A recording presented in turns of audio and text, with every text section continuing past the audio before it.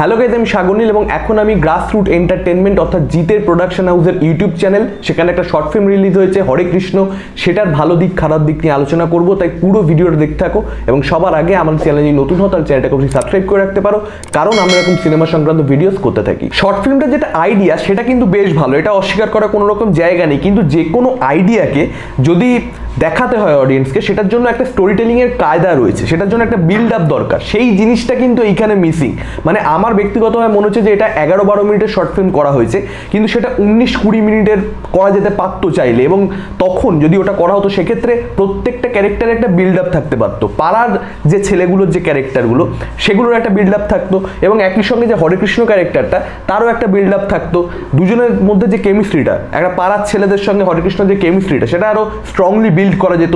সেক্ষেত্রে কি হতো, যখন একদম শেষে একটা ট্র্যাজেডি হচ্ছে, তখন কিন্তু অডিয়েন্স ওই হরেকৃষ্ণ ক্যারেক্টারের জন্য বা পাড়ার ছেলেগুলোর জন্য একটু হলেও ফিল করতো, যেটা এখানে টোটালি মিসিং একদম শেষে গিয়ে যখন আমরা দেখছি যে পাড়ার ছেলেগুলো কান্নাকাটি করছে, তখন জিনিসটা কিন্তু খুব কৃত্রিম মনে হয়। এখানে যে মাতালের ক্যারেক্টারটা রাখা হয়েছে, সেই ক্যারেক্টারটা আমার প্রচণ্ড ইরিলেভেন্ট মনে হলো। মূল গল্পের সঙ্গে সেই ক্যারেক্টারটার কি প্রাসঙ্গিকতা, আমি জাস্ট বুঝতে পারলাম না, এবং এই ক্যারেক্টারটা যেটা শেষ সিন রয়েছে, যেখানে সে কাঁদছে। কেন কাঁদছে আমি বলব না স্পয়লার হয়ে যাবে সেক্ষেত্রে। তো আমি বুঝলাম না যে কেন তার কান্নাটা দেখানো হলো। মানে হরেকৃষ্ণ ক্যারেক্টারটার সঙ্গে তার ইমোশনাল সাইড কি রয়েছে, কি বন্ডিং, সে বিষয়ে কিছুই দেখানো হয়নি, কিছুই এস্টাবলিশ করা হয়নি এই শর্ট ফিল্মে তা সত্ত্বেও তাকে কাঁদানো হলো। জিনিসটা আমার খুব ক্রিঞ্জ মনে হলো। তবে একটা কথা বলব যে এখানে যে মানে পদ্ধতিটা ব্যবহার করা হয়েছে, যে প্রথমে হাস্যরস দেওয়া হবে এবং শেষে গিয়ে একটা মানে ট্র্যাজেডি দেখিয়ে দেওয়া হবে, সেই যে স্টোরি টেলিংয়ের কায়দাটা, এটা কিন্তু খুব ফেমাস একটা পপুলার একটা কায়দা। সেটা ভালো কিন্তু অ্যাটেম্প যেটা করা হয়েছে, সেটার জন্য আমি আবার একই কথা বলব, ওই বিল্ড আপটা এখানে একদম মিসিং এমনিতে এই কাজটা টেকনিক্যালি সাউন্ডেড এটা একটা ভালো দিক এবং এই কাজটার মধ্যে আমরা অনেক পারফর্মারদের দেখতে পাই যাদের ইন্ডাস্ট্রি সে অর্থে ব্যবহার করে না কোনো ভালো চরিত্র দিয়ে। তো তাদের পারফরমেন্স নিয়ে আলাদা করে কিছু বলার থাকছে না, কারণ তাদেরকে খুব বিশেষ একটা দেখা যায়নি। মাত্র এগারো মিনিটের শর্ট ফিল্ম খুব কমই তাদের দেখতে পাওয়া গেছে। যেটুকু দেখতে পাওয়া গেছে, তাদের পারফরমেন্স আমার ঠিকঠাক লেগেছে। এবং এখানে খিস্তি মারার যে ব্যাপারটা রাখা হয়েছে, সেটা প্রচণ্ড রকম রিলেটেবল এবং এই জিনিসটা কিন্তু মানে মফস্বল এলাকাতে দেখা যায়। সেই জিনিসটার সঙ্গে, ঘটনাটার সঙ্গে আমি রিলেট করতে পেরেছি। যে পাড়ার ছেলেরা বুড়োদের দেখে রাগাচ্ছে। এই জিনিসটা আমাদের এখানে তো মানে আমরা দেখতে পাই যে হচ্ছে।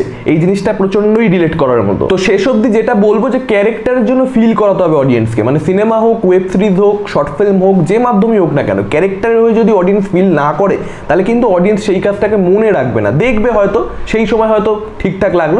তারপরে আর মনে রাখার মতন কাজ সেটা হবে না। তো সেই জিনিসটা আমার ক্ষেত্রে এই শর্ট ফিল্মটার সঙ্গে ঘটেছে। আমি ক্যারেক্টারগুলোর জন্য জাস্ট কিচ্ছু ফিল করিনি। তো এটা একটা প্রবলেম তবে আমি এই যে উদ্যোগটা জিতের, সেটাকে সম্পূর্ণরূপে স্যালুট জানাই যে তিনি নতুন যারা পরিচালক, যারা আনকোরা অভিনেতা, তাদেরকে নিয়ে কাজ করছেন এবং ইউটিউব প্ল্যাটফর্মের জন্য কিছু শর্ট ফিল্মস বানাচ্ছেন।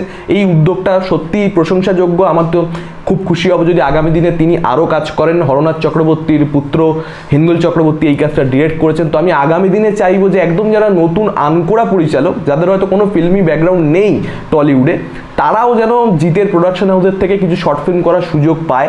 কারণ অনেক ফিল্ম মেকার এরকম রয়েছেন, এটা একদম পরিষ্কারভাবেই জানা, সকলের জানা, যে পয়সার জন্য ফিল্ম অনেকে বানাতে পারেন না। অনেকের কাছে গল্প প্রস্তুত, অনেকে গল্প বলতে চান, কিন্তু তাদের কাছে সুযোগ নেই। আশা করব আগামী দিনে জিত তাদেরকে সেই সুযোগটা করে দেবেন। তো এই ছিল আমার ওভারঅল মতামত এই কাজটা সম্পর্কে। তোমাদের কীরকম লেগেছে তোমরা কাজটা দেখে থাকলে আমাদেরকে কমেন্ট করে জানাতে পারো। ভিডিওটা ভালো লাগলে ভিডিওটাকে লাইক করতে পারো শেয়ার করতে পারো নিজের মহিলার ফ্রেন্ডদের সঙ্গে। আমাদের চ্যানেলে যদি নতুন হও, তাহলে চ্যানেলটাকে অবশ্যই সাবস্ক্রাইব করতে পারো, কারণ আমরা এরকম সিনেমা সংক্রান্ত ভিডিওস করতে থাকি। আজকের মতন টাটা, চোখ রাখো পরবর্তী ভিডিওতে